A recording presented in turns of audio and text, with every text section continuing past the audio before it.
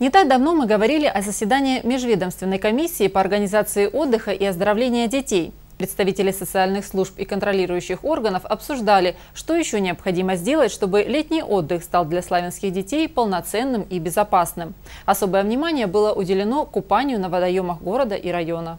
Для того, чтобы получить объективную картину происходящего на берегах реки Протоки, рейдовая группа, куда входили представители межведомственной комиссии во главе с заместителем главы Славянского района по социальным вопросам Виталием Титаренко, проехала вдоль речного берега от поселка Кубрис до поселка Совхозного – как правило, тропинка к реке проходит через полосу деревьев, в тени которых и располагаются нередко отдохнуть местные жители.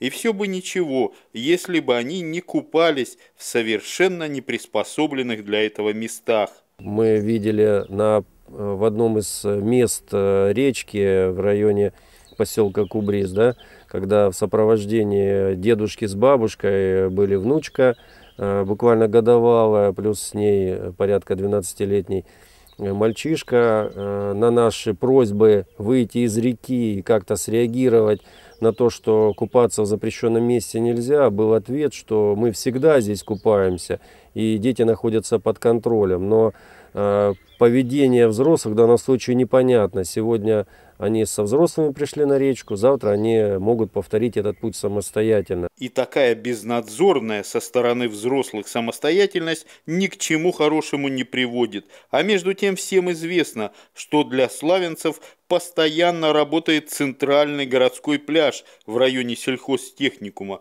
Купаться там удобно и приятно, обеспечена полная безопасность, есть спасатели и медицинский работник.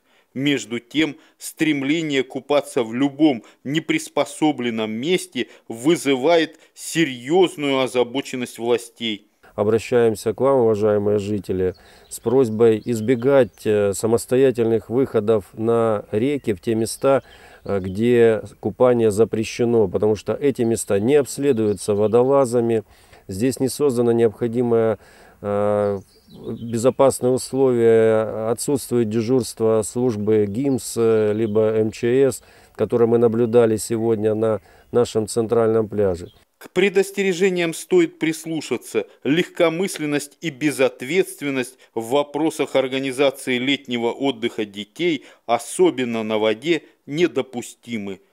Андрей Вишневский, Георгий Калинин, Константин Монастыренко. Программа «События».